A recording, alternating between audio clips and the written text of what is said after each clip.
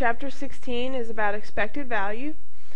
Expected value is your long run um, average where uh, the probability of each outcome occurring is a different probability. So you take each outcome, multiply it by its probability, and you add them all up.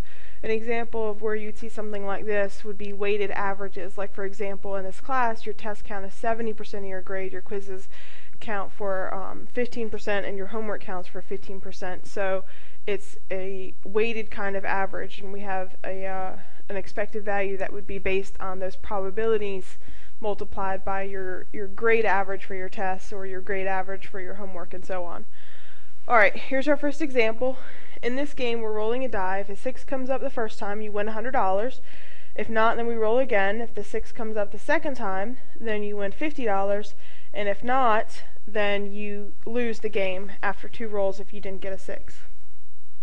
We're going to find the expected value for this game. Okay, there are three possible values for the amount that we can win. We can win $100, we can win $50, or we can win $0. Now, the probability of winning $100 means that uh, we have a 1 in 6 chance of that happening because we could have gotten a 6 on the first time, or we could have not gotten a 6 on the first time. The probability of getting a 6 the first time means that we have a 1 in 6 chance of that happening. If we don't get a 6 the first time, we want to get a 6 the second time to win $50. So that would be a 5 out of 6 chance times a 1 out of 6. You didn't get it first, but you did get it second. 5 out of 6 times 1 out of 6, which is 5 out of 36. Now, we could win nothing, and that would happen if we didn't get the 6 the first time and we didn't get the 6 the second time. And that's done by 5 out of 6 times 5 out of 6, which is 25 out of 36. Now, you're going to find the expected value by doing each dollar amount times its probability. $100 times 1 sixth, $50 times 5 out of 36, and $0 times 25 out of 36, and you add them all up. So enter this in your calculator and get your expected value. You should get $23.61 if you've done this correctly. Take a second and do that. Make sure you can get $23.61. Now you can do expected value in your calculator. If you uh, go to stat edit in your calculator, we want to enter the dollar amounts is L1 and the probabilities is L2. And when you get those enter, you want to go to stat calculate one var stats, put in L1 comma L2 afterwards and hit enter. Stat calculate one var stats L1 comma L2 and hit enter and uh, I'll give you the expected value as the first entry, which is the X bar, and it should say $23.61. Okay, example two. We have a carnival game. We're offering a $100 cash prize for anyone who can break a balloon by throwing a dart at it. It costs $5 to play, and we're willing to spend up to $20 trying to win the 100. You estimate that you have about a 10% chance of hitting the balloon on any given throw. You must suck pretty bad. We're going to find the expected profit of our winnings, and then also we're going to find the expected number of darts that we'd have to throw if we were playing the game. Okay, let's start with the money or the profit that we're going to make. If we throw just one dart, then we would make a profit of $95. $100 we won, 5 to play the game. If we throw two darts, we would have made a profit of $90. If we throw three, we would have made a profit of $85. And if we throw all four darts, we could have either made a profit of $80 or we could have not hit anything and lost $20, meaning we had negative $20 profit. Now let's look at the first one. If we hit the first dart, there's a 10% chance of that happening. In the next scenario, we missed the first one, but we hit the second one. So that's 0.90 times 0.10 which is 0.09. In the third scenario, we missed 2 and then we hit the third one, so that's 0.90 to the second times 0.10, which is 0.081.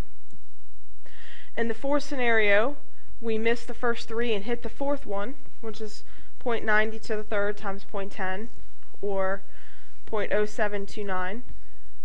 And then in the last scenario, we missed all four of them, which is 0.90 to the fourth or 0.6561. Now you're going to find your expected value. You can do this in your calculator or you can multiply each dollar amount times the probability and then add them all up. You should get $17.20. That 20 cents is rounded. It's actually like $17 and 19 and a half cents, but just round up to 20 cents. Make sure you can get this answer before you go on. Pause the video right here to make sure that everyone is on the same page and can get the answer. Okay, let's look at the expected number of darts. In the first scenario, we threw one dart. In the second scenario, we threw two darts. In the third scenario, we threw three darts. And then last, we could e have either thrown four darts and made the last one, or we could have thrown four darts and missed the last one. The probabilities are still the same that they were um, when we were looking at the dollar amounts. It's just number of darts here instead, but the probabilities do not change. So you're going to multiply each number of darts times its probability and then add them all up, or you can enter this in your calculator stat, edit to put them in, stat, calculate, one var stats, L1 comma L2, uh, and hit enter.